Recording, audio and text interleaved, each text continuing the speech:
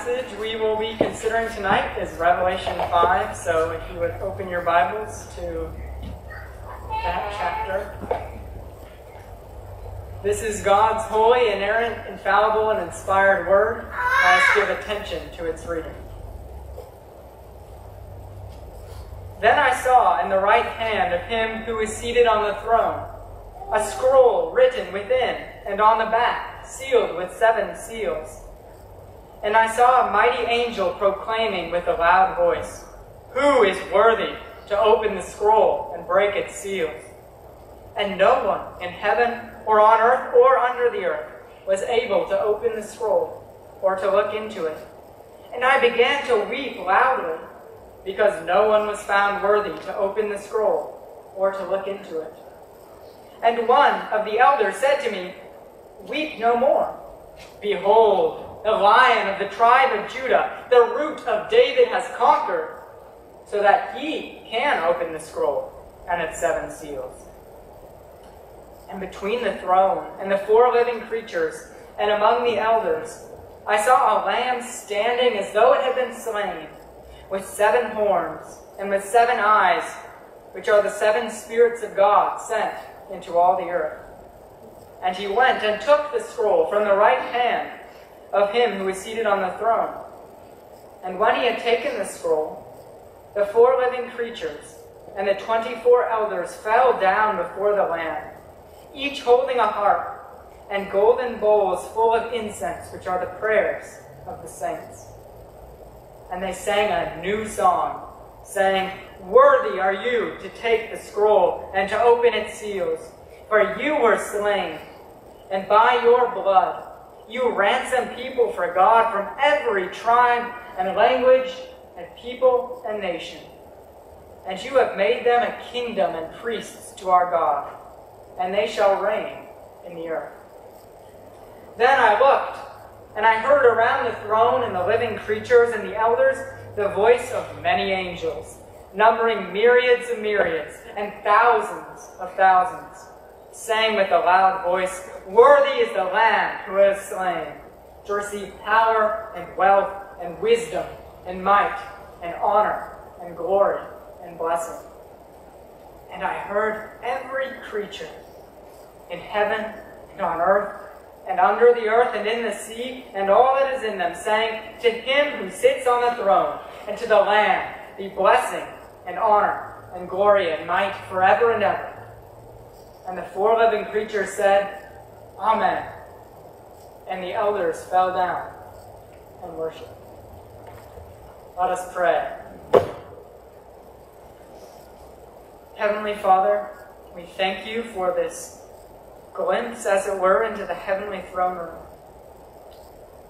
We thank you for this chance to see what the destination of all of human history is the Lamb worthy because he was slain.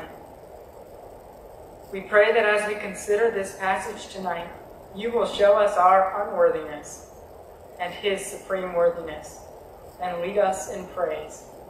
In Jesus' name, Amen. This passage cannot be understood without understanding the beginning.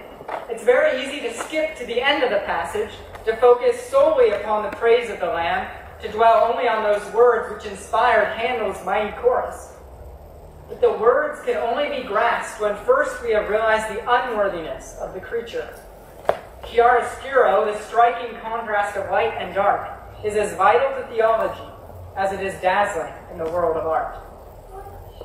In chapter 4, John had entered the throne room of the kingdom of heaven to see the Lord God Almighty seated in dominion to find the multitudes of heaven bowing down and praising him, ceaselessly engaged in glorification. Now he sees this God, the Lord of the universe, the Lord of time, holding a scroll. What is this document? What does it mean? What does it contain? Interestingly enough, we are never told exactly what the scroll is in the book of Revelation. Some have identified it with a scroll mentioned in Ezekiel 2, in that passage, the contents of the scroll are said to be words of lamentation and mourning and woe. However, the scroll in Ezekiel is probably not identical to the one here, because Ezekiel is told to eat the scroll, whereas this scroll is never eaten in the book of Revelation. Because of that, Ezekiel's scroll may be more parallel to the different, smaller scroll that John does eat later in the book. G.K. Beale has pointed out a better connection between this scroll and two chapters of the prophet Daniel. In Daniel 7, we read this As I looked, thrones were placed, and the Ancient of Days took his seat. His clothing was white as snow, the hair of his head like pure wool. His throne was fiery flames, its wheels were burning fire. A stream of fire issued and came out from before him. A thousand thousands served him, and ten thousand times ten thousand stood before him. The court sat in judgment, and the books were opened. This language of the books being opened seems to parallel this scroll, which can be translated book, which is opened here in Revelation. Indeed, that seems to be likely because the scroll here, as it is opened, causes the judgment of the earth, similar to the scene in Daniel. Therefore, the scroll is one of judgment. Daniel 12 also sheds some light on a different aspect of the scroll. There we read, I heard, but I did not understand. So I said, O my Lord, what shall be the outcome of these things? He said, Go your way, Daniel, for the words are shut up and sealed until the time of the end. In this sense, then, the scrolls conceal the hidden things.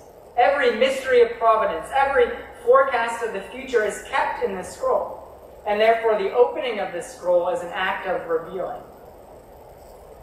So, here we have the Lord of the universe holding the plan of time. Here we have, as it were, the hidden veil of history, lacking only the hand to draw it aside, the chest of secrets, lacking only the key to unlock it. For the great assertion of this text is that there is no one worthy to understand the direction of history.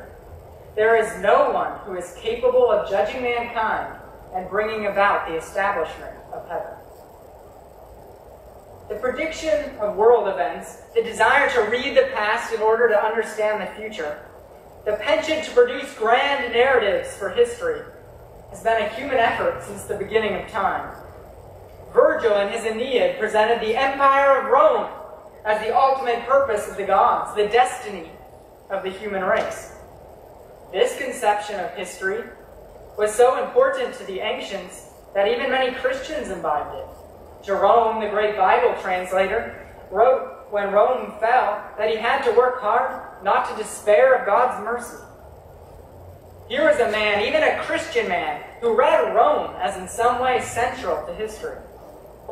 Rome was the sad story of the scroll.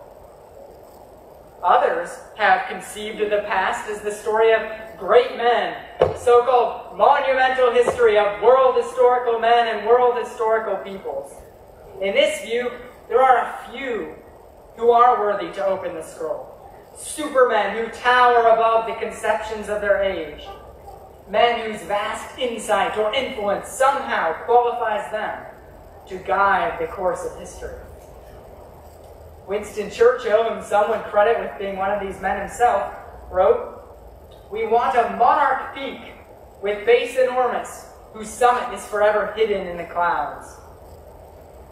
He hit upon the innate human desire to look up at Mount Sinai and find a great man upon it, someone who is fundamentally like us. So much of our modern discontent with the past is precisely because we have found that our great men are not, after all, worthy to open the scroll. But even more innate to human desire is the desire to find ourselves worthy. Every human being who has ever lived wants to shape his destiny in some way. Why else are we so concerned with what other people think about us?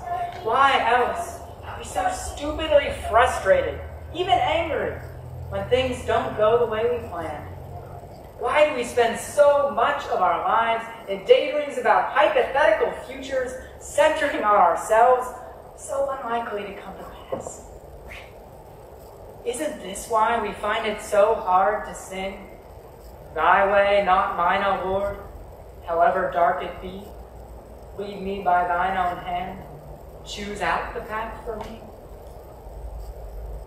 Yet here we read, no one in heaven or on earth or under the earth was able to open the scroll or to look into it. No one. Not the greatest government ever set up. Not the greatest man ever to live. Not even you yourself. No one in heaven or on earth or under the earth was able to open the scroll or to look into it. Who then could be worthy? Look again at verses 5 and 6. Isn't it amazing the words we have here? John is told, the lion of the tribe of Judah, a fearsome warrior king, is able to open the scroll. At last, here is the mightiest of these world historical men, the most marvelous superhero, the ultimate and greatest conqueror. Or so John might have assumed. He was told that it was someone prior to and thus even more important than David himself. Who could it be? And John turned not to find a lion, but to find a lamb. More than that, a lamb who had been slain. All of biblical history points towards this moment. In the book of Genesis, we see a wizened father and his young son, the hope of many decades, toiling the road to Mount Moriah. Abraham, who had been promised to be the father of many nations, has been ordered to kill his son, his only son from Sarah. As they approach the altar of sacrifice where blood must be shed, Isaac turns to his father and asks, Behold the fire and the wood, but where's the lamb for the burnt offering? And Abraham, who believed God so that it was counted to him for righteousness, said, God will himself provide the lamb for a burnt offering. When Israel was enslaved in Egypt, oppressed for centuries, they were without hope until Moses arose and God used him to lead them out of Egypt.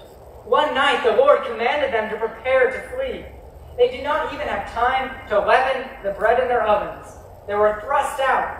The Bible says they could not wait to journey in the wilderness for 40 years.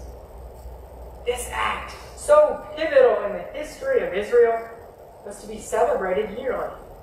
And this is how it was to be done. We read in the book of Exodus.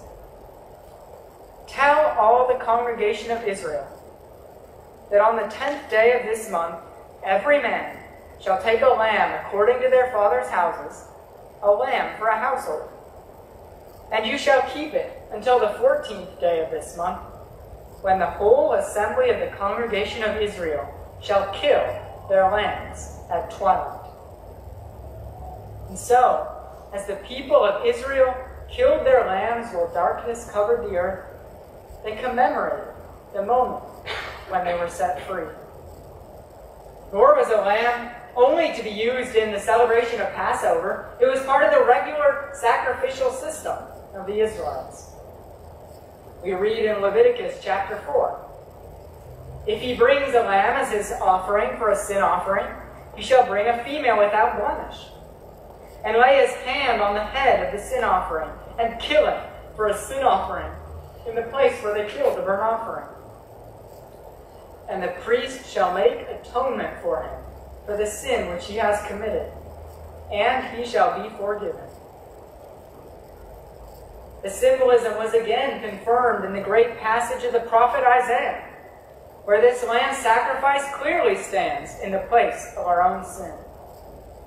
All we like sheep have gone astray. We have turned every one to his own way, and the Lord has laid on him the iniquity of us all.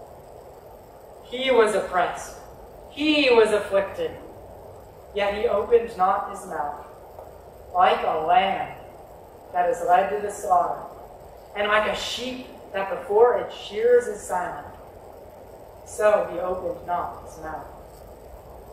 On the innocent lamb, who could not defend himself before his accusers, our transgressions were laid.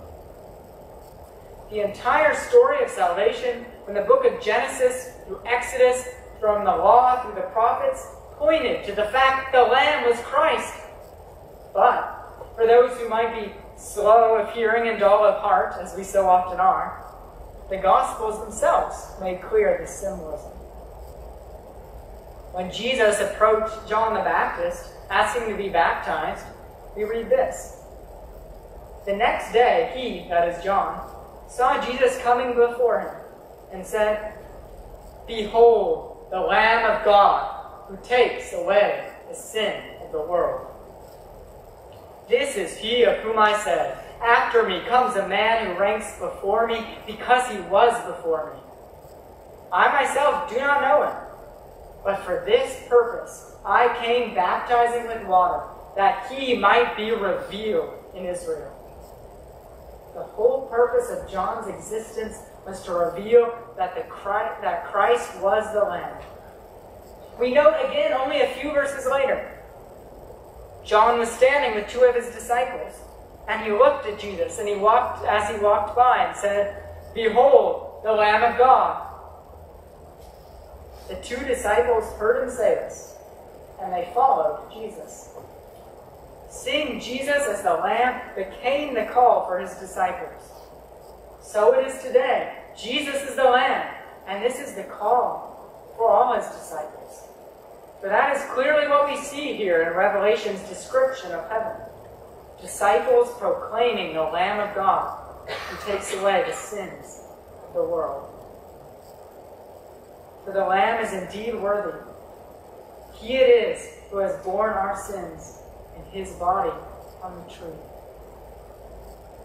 Why was he also called a lion? I want briefly to quote Jonathan Edwards in his magnificent sermon on this text with his thought. Thus Christ appeared at the same time and in the same act as both a lion and a lamb.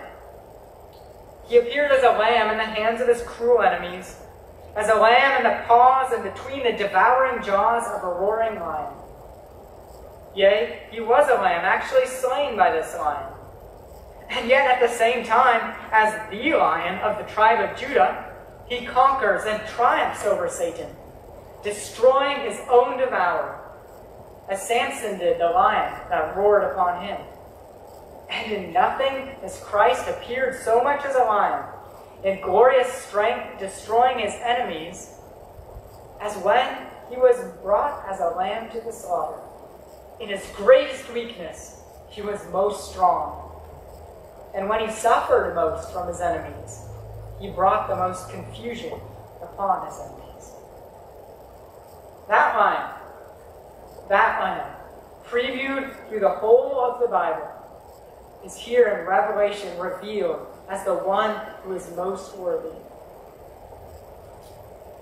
The response to this Lamb, to the worthiness of Christ, is the praise of all creation. This is the application of our text, and I want to spend the rest of our time considering it. Look again at the progression from verse 8 through the end of the chapter. At first, the circle of praise around the throne of God extends only to a small band. The four living creatures, those terrifying beings described already in the book of Revelation, combine with the 24 elders to bow before the throne and cry, Worthy are you to take the scroll and to open its seals. Then, moving down, all of the angels cry.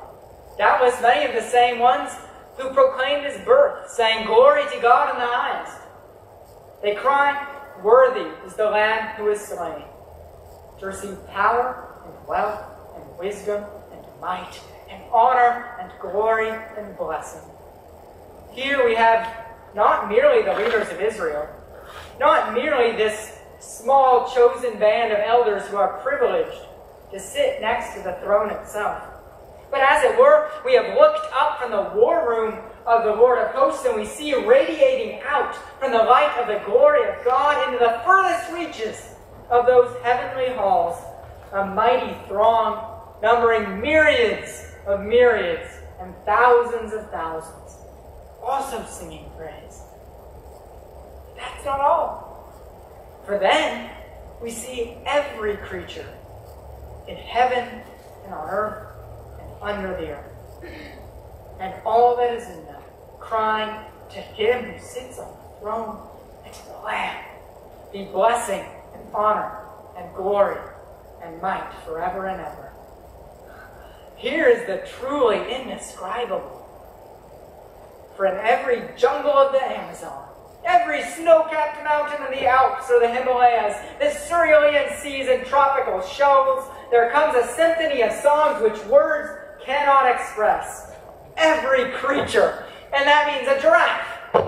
That means an elephant swaying with his trumpeting trunk. That means an undiscovered species of ant in a Peruvian rainforest. All of them are crying out, Worthy is the Lamb. This praise, my friends, is the telos of creation. Samuel Rutherford, the great Scottish minister of the 17th century, was a man who knew how to express the praise of Christ. In his own inimitable way, quaint and sweet, he showed what it means to praise God, even when he seems most absent, to revel in this heavenly truth, even while the Lamb remains unseen. Rutherford, in his day, faced significant dangers. A parish minister in Anwoth, he was exiled from his parish for being outspoken about developments in Scotland, which won him few friends among the king's men, people who cared more for political power than the health of the church. Aberdeen, the place where he was exiled to, was the only town in Scotland who supported the Church of England. There, he was separated from the people he had worked so many years to serve, stripped of the influence which he had exerted, walking through a town full of men whose religion was more a political means to an end than a true faith.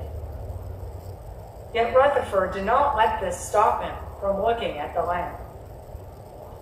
He wrote to a friend, Our love to him should begin on earth, as it shall be in heaven. In other words, if we are to praise Christ for eternity, we had better begin now. As Paul put it, we are to set our minds on things that are above, where Christ is, seated at the right hand of God. Rutherford practiced what he preached. Not only does his tremendous hymn, woven together from his quotations, The sands of time are sinking, point to Christ, his letters exude this fragrance. Listen to this. If I had as many angels' tongues as there have fallen drops of rain since the creation, or as there are leaves of trees in all the forests of the earth, or stars in the heaven, to praise, yet my Lord Jesus would ever be behind me. That is, he would not have praised Christ enough. Or this, what the beauty of 10,000 thousand worlds of paradises, like the Garden of Eden, all in one. But all trees, all flowers, all smells, all colors, all tastes, all joys, all sweetness, all loveliness in one. Oh, what a fair and excellent thing that would be. And yet, it would be less to the fair and dearest, well-beloved Christ than one drop of rain to all the seas, rivers, lakes, and fountains of 10,000 worlds. Surely that is the sentiment the angels are expressing. Is that ours? Heaven draws near. Soon, our occupation will no longer be with the things of this world, but with the employment of heaven, perpetual praise. Should we not prepare? Christ is the Lamb, the Lamb prefigured through biblical history. Should we not begin our praise now? If he is the ram caught in the thicket, if he is the sacrificial animal, if he is the one who is crushed and afflicted for our sakes, should not his name be constantly upon our lips? If John made it his work to say, Behold the Lamb of God, who takes away the sins of the world, should not that be our work as well? Well, how do we prepare for this work? By doing precisely what we see here confessing our own unworthiness and the worthiness of Christ. This is to be our employment now and for eternity. Let us begin.